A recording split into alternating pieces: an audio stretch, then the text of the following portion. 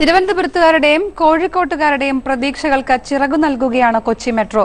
കൊച്ചിക്കാരുടെ തെല്ലൊരു അസൂയ ഉണ്ട് എങ്കിലും ഇന്നല്ലെങ്കിൽ നാളെ ലൈറ്റ് മെട്രോ തലസ്ഥാനത്തും കോഴിക്കോട്ടും തല ഉയർത്തുമെന്ന് ആശ്വാസം കാണുകയാണ് അവർ. മുംബൈയിലും ഡൽഹിയിലുമൊക്കെ പോയി വരുന്നവരുടെ മെട്രോ അനുഭവം അറിയാൻ ഇനി കൊച്ചി വരെ പോയാൽ മതി. എന്നാൽ അത് പോരല്ലോ. കൊച്ചിയിൽ മാത്രം പോരാ കോഴിക്കോട് നഗരത്തും വേണം. കോഴിക്കോട് നഗരത്തിന്റെ ആകെയല്ല കിടക്കുന്ന ഈ ട്രാഫിക് ബുദ്ധിമുട്ടുകളാണ് റോഡിലേക്ക് ഇറങ്ങിയാൽ തന്നെ അതാ പതിവ് വരുന്ന നല്ല കാര്യത്തെ തന്നെയാണ്. അതുകൊണ്ട് കോഴിക്കോട്ടുകാർക്ക് കുറച്ചുകൂടി പരിഗണനയാകാം. മുൻ ഗവൺമെന്റ് ഇവിടെ അതിനുള്ള എല്ലാ സജ്ജീകരണങ്ങളും ഒരുക്കിയിട്ട് ചാലപ്പുറത്ത് തന്നെ ഡി എം ആർ സിയുടെ ഓഫീസ് വരെ കൈ ചെയ്തു കഴിഞ്ഞതാണ്. ആ സംവിധാനം നിലവിൽ ഗവൺമെന്റ് അതിനെ പുനഃപരിശോധിച്ചുകൊണ്ട് ആ സംവിധാനം ഇവിടെ തുറക്കേണ്ടതുണ്ട്. അതുപോലെ തന്നെ ഈ ലൈറ്റ് മെട്രോ ഇതിന് യാഥാർത്ഥ്യമാക്കേണ്ടത് ഗവൺമെന്റ് ഏറ്റെടുക്കണം. എന്തായാലും കൊച്ചി മെട്രോ ടെലിവിഷനിൽ കാണുന്ന തിരുവനന്തപുരത്തുകാർക്കും വലിയ സന്തോഷം. ഈ വഴി കൂടെയാണ് നമ്മൾ ലൈറ്റ് മെട്രോയ്ക്ക് ആവശ്യമായിട്ട് സ്ഥലം.